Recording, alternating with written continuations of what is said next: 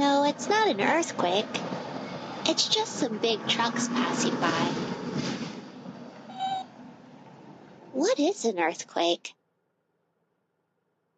The earth is made of different layers. The core is at the center, and the mantle is in the middle. The outermost layer is the crust, which is the layer we live on. The crust is divided into different plates or large areas. Not exactly, Moby. Tectonic plates lie underneath the continents and oceans. The tectonic plates push against each other very, very, very slowly. The plates have been pushing against each other for millions and millions of years. Sometimes the plates slip and cause an earthquake. During an earthquake, the land shakes. Earthquakes can cause the ground to break down and damage roads and buildings. Sometimes earthquakes cause landslides, which happen when large pieces of land break off and slide down hills or mountains. Earthquakes can seem a little scary, but earthquakes happen every day. You just can't feel most of them. Most are pretty small though, and many of them happen deep in the ocean. Cool. What is a volcano? A volcano is an opening in the Earth's crust that allows melted rock, ash, and gases to come up. Magma is molten or melted rock. Magma comes up from the mantle and erupts through the crust. When magma reaches the surface, it's called lava. The volcano spits out burning hot lava, ash, and gases. The lava flows down, cools, and turns into rock. Cooled lava can form hills and change the way land looks. Sometimes lava can form islands, like Hawaii.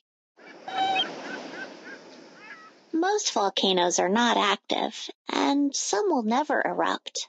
Volcanoes are important because they bring rich soil, which is good for growing crops.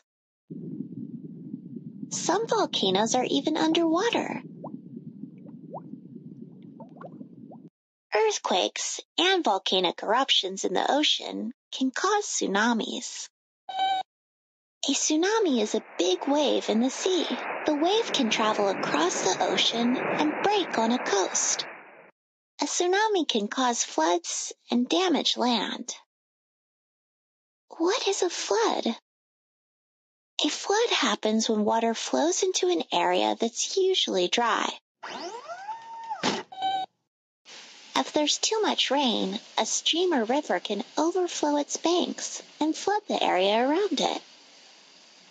Floods can cause a lot of problems in communities.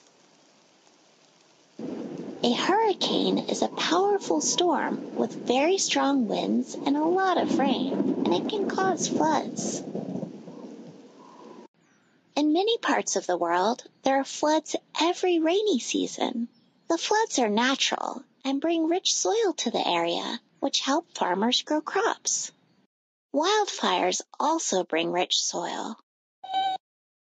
What are wildfires? A wildfire is a large fire that spreads quickly in the countryside or in the wilderness. Wildfires can be caused by people, but they can also be caused in natural ways. In big wildfires, many animals can lose their homes.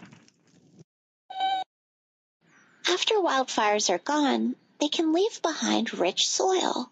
Then new plants have a chance to grow and animals can move back. Earth is always changing. Sometimes these changes are slow and other times they're fast. But most of the time we don't even notice these changes.